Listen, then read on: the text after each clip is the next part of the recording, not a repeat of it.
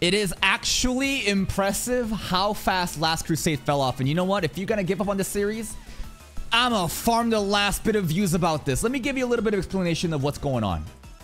So Last Crusade is a project that we picked up, right? We picked this up because in the community polls, right? In the community polls, I was trying to figure out what's going to replace Akashic Records or something else, right?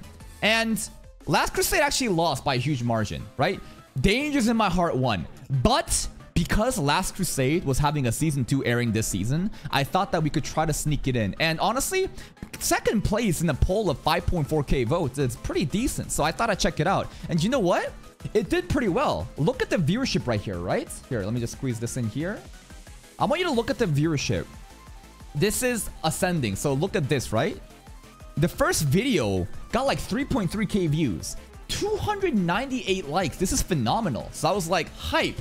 You guys are here to watch The Last Crusade. Like, we can actually watch this. And then next couple episodes, you know, it, it, it makes sense that it would, you know, fall off a little bit.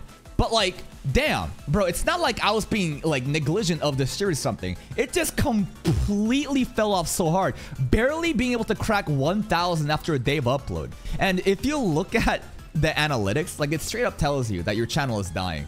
Like, Regular viewers are watching this video for a shorter amount of time than usual, contributing to 20% fewer views. And the more I think about it, the more that I think it makes sense, right? In the beginning, episode 1 is always to pop off. Everyone wants to see, oh shit, he started a new series, I want to check it out. But not everyone that watches episode 1 will watch everything else. This is true for pretty much any anime. Episode 1 will always do well, and then it tapers off. What really matters is the viewership number of when it falls, quote unquote, falls off. That's the baseline, and we cannot be having a baseline like this.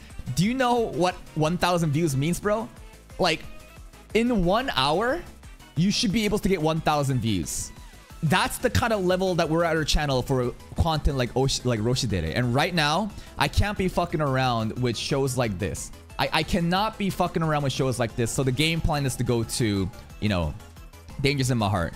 And for the Last Crusade enjoyers, I'm sorry, but it is what it is. The greater audience has pretty much proven with their votership that they just don't give a shit about this show. And I get it. It's nothing personal. My job is to try to cater towards my audience and understand what they want. And you guys are simply showing me that you don't care about Last Crusade. And we're to go right into Dangers in My Heart. And if Last Crusade ever wins a community poll, right?